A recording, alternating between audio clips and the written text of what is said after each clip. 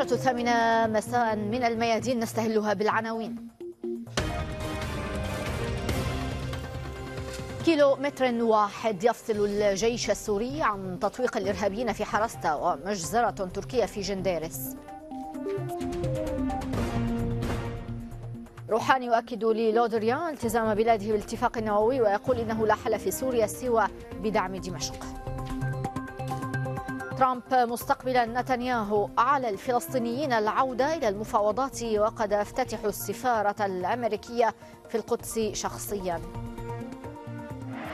قائد الجيش الليبي خليفة حفتر يطلق عمليات فرض القانون في جنوب البلاد. أهلا بكم. حرر الجيش السوري عددا من المزارع والنقاط جنوب شرق مشفى البيروني شرق مدينة حرستا في الغوطة الشرقية لدمشق. تحرير المزارع تم بعد مواجهات مع حركة أحرار الشام.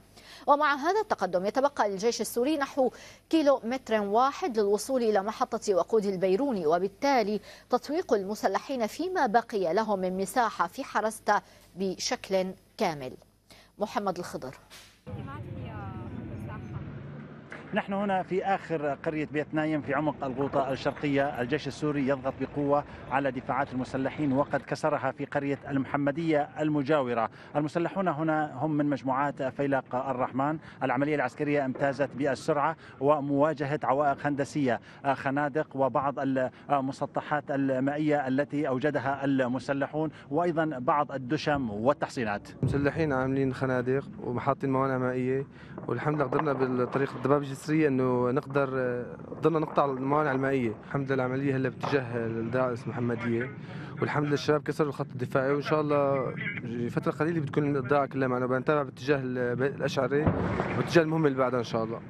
هذا التحصين في نقطة متقدمة من قرية بيت نايم باتجاه المحمدية. هذه التحصينات التي كانت لمسلحي فيلق الرحمن باتت الآن تحت سيطرة الجيش السوري. نحن في كتيبة الدفاع الجوي في عمق الغوطة الشرقية لدمشق. هذه القاعدة استعادها الجيش السوري آه، في المعارك مع جيش الإسلام وجبهة النصرة. آه، موقعها آه، استراتيجي في الواقع تقع إلى القرب من حوش الظواهرة. العمليات العسكرية مستمرة في الواقع في عمق هذه الغوطة. هون كتيبة الدفاع الجوي تم تحريرها عن جديد قريبة على حوش الظواهرة. وهون هلا كله الحمد لله صار آمن والتقدم مستمر. لدحر الإرهاب إلى مدينة آه، آه، دوما آه، حصار مدينة دوما. نحن آه، في هذا المرصد المتقدم والمشرف تماما على مزارع الريحان. الجيش السوري يستهدف بالقصف المدفعي وبالغارات الجوية آه، خطوط التنقل آه، ومراكز قيادية وتابعة للمسلحين مسلحي جيش الإسلام وجبهة النصرة في هذه المزارع. الريحان تبعد حوالي ثلاثة كيلومترات فقط إلى الشمال الشرقي من دوما. هذه ضمن عملية عسكرية واسعة للجيش السوري تمكن خلالها من استعادة حوالي 40% من مساحة الغوطة الشرقية. الشرقية برمتها خلال الأيام القليلة الماضية. تقدم آخر حققته وحدة من الجيش السوري في محيط مشفى البيروني باتجاه محاصرة المسلحين في حرستا. محمد الخضر من قرية المحمدية في الغوطة الشرقية الميادين. وإلى ذلك دخلت شاحنات المساعدات الغذائية التابعة للأمم المتحدة إلى الغوطة الشرقية عبر معبر الوافدين بتسهيلات من الجيش السوري.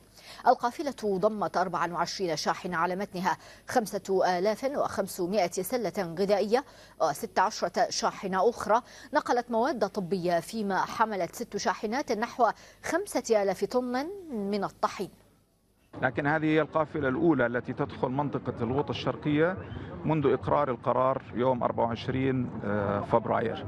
نجحنا أمس بالليل إلى إدخال قافلة بالتعاون مع السلطات المحلية والهلال الأحمر والصليب الأحمر إلى منطقة الدار الكبيرة في شمال حمص. يعني قافلتين متتاليتين. نأمل في أن نكرر هذه القافلة يوم الخميس القادم وغيرها من القوافل آه، كلما احتاج الأمر. نعم. القافلة فيها مواد غذائية ومواد طبية ومواد تغذوية. خاصة بالأطفال تحديدا. 46 شاحنة.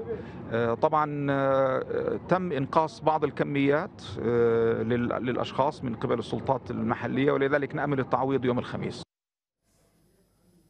طالب الرئيس الفرنسي مانويل ماكرون الرئيس الروسي فلاديمير بوتين بالضغط على الحكومة السورية من أجل تطبيق القرار الأممي بشأن وقف إطلاق النار في سوريا. قصر الإليزيه أشار في بيان له إلى أن ماكرون قال في اتصال هاتفي مع بوتين إن دمشق تمنع إدخال المساعدات إلى الغوطة داعيا موسكو إلى تحمل مسؤولياتها والوفاء بتعهداتها.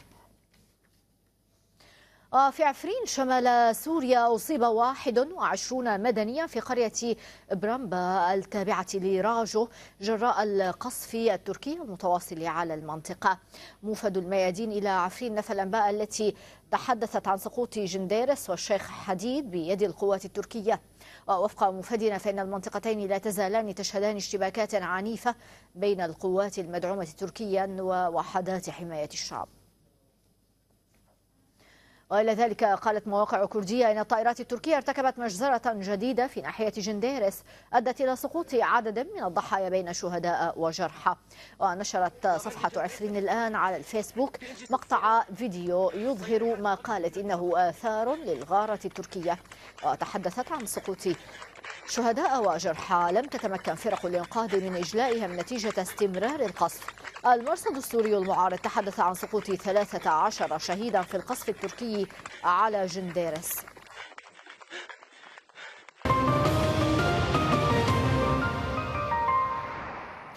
أكد الرئيس الإيراني حسن روحاني لوزير الخارجية الفرنسي جان إيف لودريان التزام بلاده بالاتفاق النووي. وفي الشأن السوري قال روحاني إنه لا يوجد أي حل للأزمة سوى دعم الحكومة في دمشق. لودريان التقى في طهران عددا من المسؤولين الإيرانيين الذين أكدوا أن عدم التزام البعض في الاتفاق النووي لم يعد مقبولا. أحمد البحراني. هي أول زيارة يقوم بها مسؤول فرنسي رفيع لإيران في عهد الرئيس ماكرون. وزير الخارجية جان إفلودريان يحاول تفكيك عقد العلاقات بين طهران وباريس على خلفية جملة ملفات شائكة. على رأسها الاتفاق النووي وبرنامج إيران الصاروخي ودورها الإقليمي والأزمة السورية. العلاقات الإيرانية الفرنسية غير مستقرة منذ فترة طويلة ويجب أن نرى ما إذا كان بإمكان الفرنسيين اتخاذ سياسات مستقلة عن أمريكا. هذه الزيارة بحد ذاتها إيجابية وتشكل اختبارا لهم. زيارة لودريان بالنسبة للبعض في إيران جاءت بمثابة نافذة أمل لتحسين العلاقات السياسية المتوترة منذ سنين. آخرون من المحسوبين على التيار الأصولي لهم رأي آخر. ففرنسا لا تبحث إلا عن مصالحها الاقتصادية ومهمة الرجل في طهران ليست سوى لجني النقود. لوزير الخارجية الفرنسي مهمتان الأولى أوروبية لحث طهران على تحجيم مشروعها العسكري ونفوذها الإقليمي. والمهمة الثانية فرنسية لجني الأرباح. ما يهم فرنسا هو مصالحها الاقتصادية فقط وكان على الخارجية أن تكشف عن حقيقة النيات الفرنسية. الضيف الوقح خادم ترامب الباريسي في طهران. مرة أخرى باريس في زي الشرطي السيء. هكذا استقبلت صحف إيرانية الضيف الفرنسي. أزمة ثقة واضحة بين البلدين عكستها تصريحات الإيرانيين وهم يستضيفون لودريان. بنظر طهران لا تحتاج باريس لبناء الثقة من جديد سوى لرؤية مستقلة عن أمريكا ونوايا حسنة. وبنظر باريس أن تقوم طهران بتقليص نفوذها في المنطقة ونشاطها الصاروخي. رؤيتان تجعلان من مهمة بناء الثقة هذا شبه مستحيلة. أحمد البحراني طهران. لقناة الميادين. دعا الرئيس الأمريكي دونالد ترامب الفلسطينيين إلى العودة إلى طاولة المفاوضات. وخلال استقباله رئيس الوزراء الإسرائيلي بنيامين نتنياهو في البيت الأبيض قال ترامب إنه قد يحضر افتتاح السفارة الأمريكية في القدس شخصيا. من جهته هاجم نتنياهو إيران التي قال إنها تنشر قواتها على حدود إسرائيل. قالت وسائل إعلام إسرائيلية إن مساعدا ثالثا لرئيس الوزراء الإسرائيلي بنيامين نتنياهو وقع على اتفاق لتقديم شهادة ضده في قضايا فساد وأضافت أن المستشار الإعلامي السابق لنتنياهو نير حفتس وقع اتفاقا يقدم بموجبه كل ما لديه من معلومات من دون أن تستخدم مواد إدانة ضدة. وهو بذلك ينضم إلى اثنين آخرين من شهود الدولة من خلية رئيس الحكومة ما يشكل زلزالا في تحقيقات نتنياهو بحسب تعبير وسائل الإعلام الإسرائيلية. في ظل الأزمة التي تعصف بالائتلاف الحكومي في إسرائيل يجري الحديث عن امتلاك رئيس الحكومة بنيامين نتنياهو الكثير من الأوراق للسير نحو انتخابات مبكرة يتصدرها حزبه. تقرير من منال إسماعيل. مع اشتداد أزمة قانون تجنيد المتدينين في الجيش الإسرائيلي وتمسك الأحزاب الحريدية بموقفها إضافة إلى أزمة الموافقة على ميزانية العام 2019 ترتفع فرص الذهاب إلى انتخابات مبكرة في إسرائيل. اختيار رئيس الحكومة الإسرائيلية بنيامين نتنياهو عدم الانشغال الجدي بالأزمة الحالية في ائتلافه إلى حين عودته من الولايات المتحدة رأى فيه مراقبون نوعا من الخطة المعدة مسبقا مع الأحزاب الحريدية لحل الحكومة. مسؤولون كبار في حزب الليكود قالوا لنا إنهم يشكون في أن نتنياهو قد جند الحريديم لخلق هذه الأزمة. كما أن مصادر في الائتلاف الحكومي قالت لنا إن رئيس الحكومة يريد انتخابات ولو كان لا يريدها لكان عمل على حل هذه الأزمة بسرعة كبيرة. مراقبون رأوا أن التصعيد الكلامي وتهديدات رؤساء الائتلاف الحكومي وقانون التجنيد والموازنة هي عقد يستطيع نتنياهو حلها وأن عدم اختياره فعل ذلك يدل على أن لديه أسبابا جيدة لذلك. فتجارب الماضي تشير إلى أن نتنياهو لن يتوجه أبدا إلى الانتخابات قبل أن يضمن الائتلاف المستقبلي أو على الأقل قاعدة متينة له. بسبب التحقيقات والتوصيات مع نتنياهو توقع الجميع إجراء الانتخابات في بداية العام 2019 أي انتخابات مبكرة. بالتأكيد من الأفضل لنتنياهو أن تكون الانتخابات في شهر أيار مايو. فاليمين لا يزال معه بالرغم من التحقيقات. هذا سبب. والسبب الآخر أن لدى نتنياهو حتى شهر أيار جدول مواعيد سياسيا مليئا بمطاب. هناك خطاب الذكرى والاستقلال. ونقل السفارة إلى القدس وزيارة ترامب. وبموازاة الاعتقاد السائد في إسرائيل بأنه تتوافر لنتنياهو كل الأسباب التي تدفعه للسير نحو انتخابات مبكرة الآن أظهر استطلاع للرأي تقدم الليكود ب 29 مقعدا في حال تقديم موعد الانتخابات الآن. نشرة الثامنة مستمرة معكم فيها بعد هذا الفاصل. الاتحاد العام التونسي للشغل يتهم بعض الأطراف بالهيمنة على الانتخابات البلدية.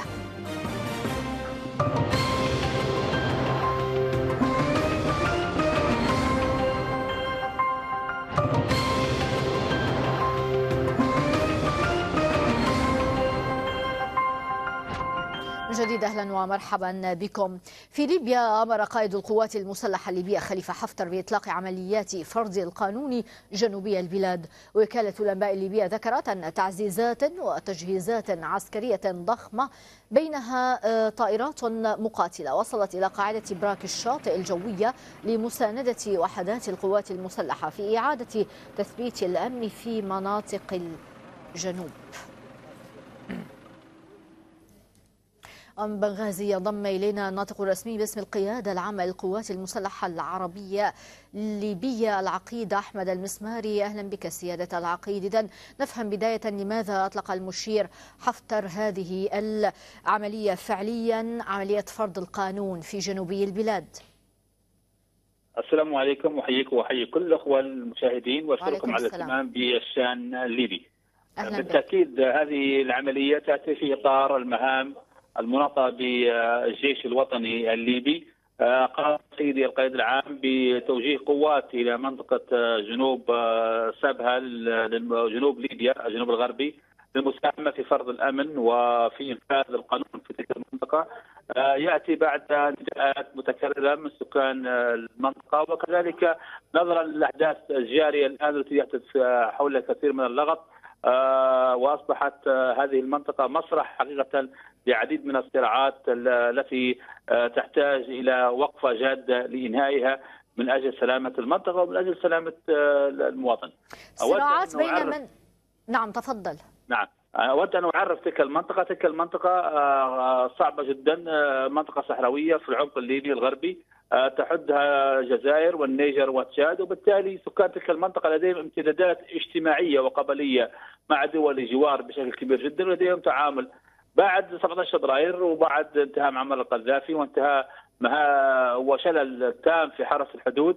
أصبحت هذه القبائل تتواصل مع بعضها وأصبحت تلك المنطقة آه، كأنها أراضي قبلية مفتوحة أمام هذه التجمعات مثل التبو مثل آه، أولاد سليمان. حتى أولاد سليمان لديهم تواصل ولديهم جذور في آه، مناطق أخرى مثل النيجر أصبحت المنطقة منطقة صراعات حقيقة قبلية ومنطقة كل شخ... كل قبيلة تحاول بسط نفوذها على المنطقة تجاهلوا تماما المصلحة العليا للوطن تجاهلوا تماما مصلحة المواطن الليبي وبالتالي القيادة العامة قررت اليوم بالدخول بقوة في فرض الأمن في منطقة جنوب ليبيا ومنطقة فزان. لكن هناك من يقول بانه فرنسا وقطر لهما يد طولة فعليا فيما يجري في هذه المنطقة بإطار إشعال الفتنة ما بين تبو وما بين أولاد سليمان بالتأكيد آه، إذا أتينا من الناحية التاريخية ومن ناحية ندخل في عمق التاريخ لم يسجل التاريخ سابقا أي صدام بين أولاد سليمان والتبع على الإطلاق بل هم قبائل متجاوره متحابة متآخية منذ عدة آه، قرون. ولكن للأسف الآن أصبحت حتى المشكلة الصغيرة بين آه، صبية صغار. نجد هذه المشكلة تكبر بشكل سريع جدا ويضخ عليها اعلاميا ويضخ عليها آه، ماليا. طيب. نحن آه، مستائين جدا من دور قطر في كل الأزمات الليبيه كل أزمة في ليبيا كل مشكلة في ليبيا كل صدام مسلح في ليبيا نجد خلفه قطر وتركيا والسودان وغيرها من الدول الإرهابية التي تدعم التي لا تريد استقرار الدولة الليبية حتى يتم تنفيذ البرنامج أو المنهج الذي تم وضعه لها من قبل هذه الدول. وهنا وعبر قناتكم هذه مسؤولية ليست مسؤولية المجتمع الدولي. وليست مسؤولية أحد بل هذه مسؤولية الليبيين، الليبيين هم من فتحوا الثغرات لدخول الأجنبي ودخول آه، أجندة أجنبية على السياسة الليبية وحتى على النسيج الاجتماعي الليبي. طيب لكن اسمح لي بما أنك هنا تتحدث عن قطر هناك أيضا من يقول طيب آه، آه، قوات المشير خليفة حفتر أو الجيش الليبي أيضا مدعومة اماراتيا.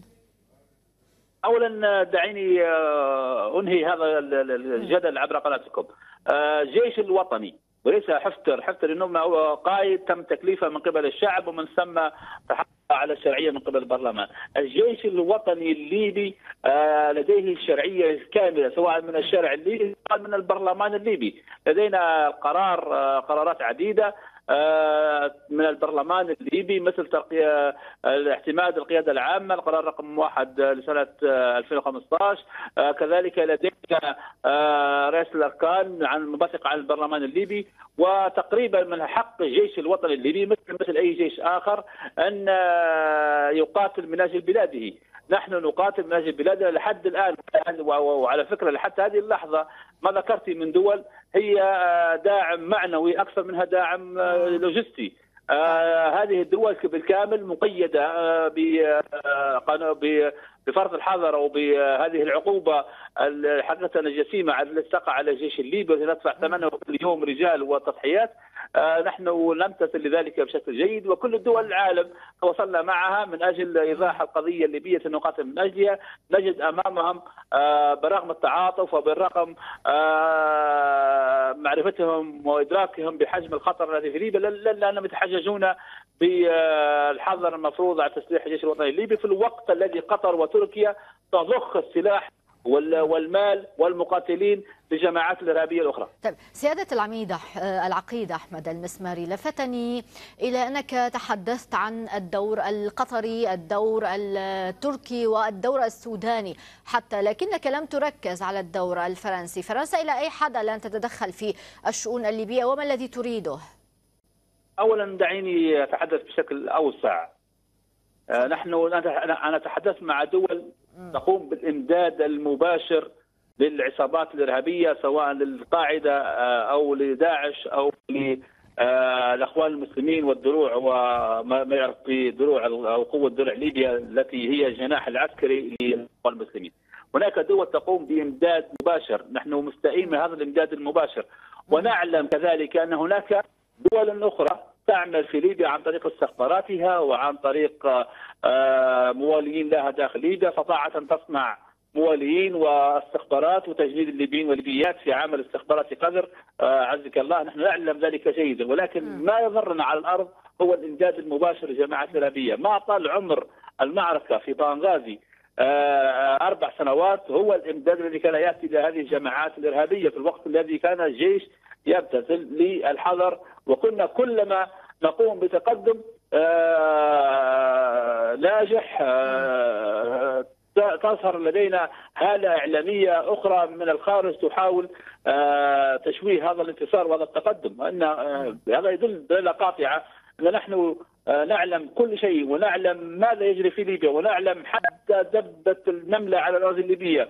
ولكن هناك دول الآن لا تستطيع في اي حال من الأحوال آه، أن نفرض الامن بشكل كامل لأن الدولة الليبية الآن منتهكة طيب هل. هل تنسقون في إطلاق هذه ال- العمليات في الجنوب الليبي مع حكومة الوفاق الوطني وإلى أي حد ولماذا؟ لا لا نحن لا يوجد لدينا أي تنسيق مع ال- ال- الرئاسي أو حكومه الوفاق ليست حكومة الوفاق حتى هذه الساعة باعتبار أنها لم تمر عبر البرلمان وهناك أربع نواب خارج أو أربع من آه، أفراد أعضاء منها خارج لكن لكن عميد بلدية عملية- سبها حامد رافع الخيالي يقول إنه هناك تنسيق على الأرض ما بين آه، قوات المشير حفتر وقوات حكومة الوفاق الوطني. دعيني دعيني مما يقوله حامد أو غيره أنا أقول لك ما هو راي القياده العامه يعني تنفي حضرتك تنفي. ننفي ننفي ننفي أي تنسيق. نحن دخلنا لحماية الشعب الليبي في منطقة الجنوب. نحن لم ندخل لدعم طرف على طرف. هذه هذا شيء مبدأ مهم جدا. لن ندخل لدعم طرف على طرف. لن ندخل لدعم وليد سليمان على التبع أو العكس.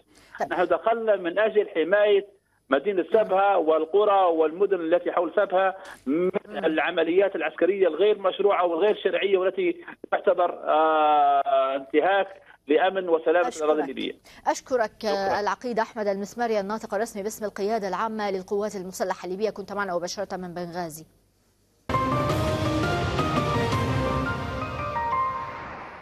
وإلى تونس حيث مكن الدستور التونسي المجالس البلدية من سلطات واسعة كانت تفتقدها خلال فترتي حكم الحبيب بورقيبة وزين العابدين بن علي لكن ذلك لم يحل دون وجود مخاوف لدى الأوساط السياسية والحزبية التي ترى أن تطبيق صلاحيات واسعة لحكم محلي قد يهدد وحدة البلاد.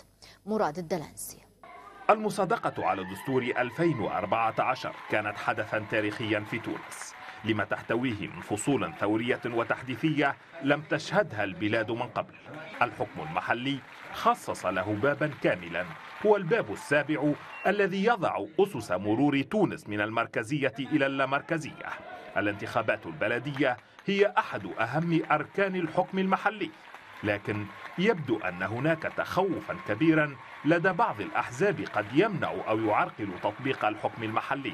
من الشروط ال- ال- ال- الأساسية لفعلا تنزيل الباب السابع وتحقيق سلطة محلية هو مراجعة شاملة لمجلة الجماعات المحلية اللي منذ آه، السبعينات أواخر السبعينات لم تنقح أو لم تراجع اللي هي مبنية ضمن فلسفة الدولة المركزية اللي كل القرارات هي قرارات مركزية والسلطات المحلية هي عادة تاخذ طابع استشاري. رئيسة الحزب الدستوري الحر عبير موسي عارضت بقوة تطبيق الحكم المحلي الذي سيؤدي إلى تفتيت الدولة وسحب البساط من تحت قدمي السلطة المركزية في العاصمة. حركة النهضة تعتبر من أكثر الأحزاب دفاعا عن فكرة امتلاك البلديات هامشا واسعا من حرية التحرك وأخذ القرارات. بعض الأصوات الخايفة ما التغيير هذا وخايفين على وحدة البلاد وما إلى ذلك ولكن في الحقيقة هو ما هو إلا حنين للماضي. يحبوا الدولة المركزية يحبوا النظام الرئاسوي آه، يحبوا كل شيء معناها بيد آه، شخص. المدافعون عن مبدأ اللامركزية يعتبرون أن من أسباب غياب التنمية في تونس ضعف الصلاحيات الممنوحة للمحافظات والبلديات. لتكون المجالس البلدية التي ستنتخب أمام اختبار حقيقي حول مدى إمكانية نجاحها في اتخاذ القرارات وتحسين ظروف المواطنين المعيشية. التخوف من النتائج السلبية لتطبيق الحكم المحلي على وحدة البلاد قائم في تونس في مقابل رأي يدعم بقوة توزيع السلطة بين المركز والأطراف. فهل ستنجح البلديات التونسية في فرض تطبيق الباب السابع من الدستور وممارسة سلطاتها الواسعة؟ مراد الدلنسي تونس الميادين. النشرة انتهت نذكر بعناوينها. كيلومتر واحد يفصل الجيش السوري عن تطويق الإرهابيين في حراستا ومجزرة تركية في جنديرس روحاني يؤكد للودريان التزام بلاده بالاتفاق النووي ويقول إنه لا حل في سوريا سوى بدعم دمشق. ترامب مستقبلا نتنياهو على الفلسطينيين العودة إلى المفاوضات وقد افتتحوا السفارة الأمريكية في القدس شخصيا. قائد الجيش الليبي خليفة حفتر يطلق عمليات فرض القانون في جنوب البلاد. والتفاصيل أوفى حول أخبار العالم. يمكنكم دائما متابعة صفحات الميادين على الإنترنت باللغتين العربية والإسبانية. شكرا للمتابعة. دمتم سالمين.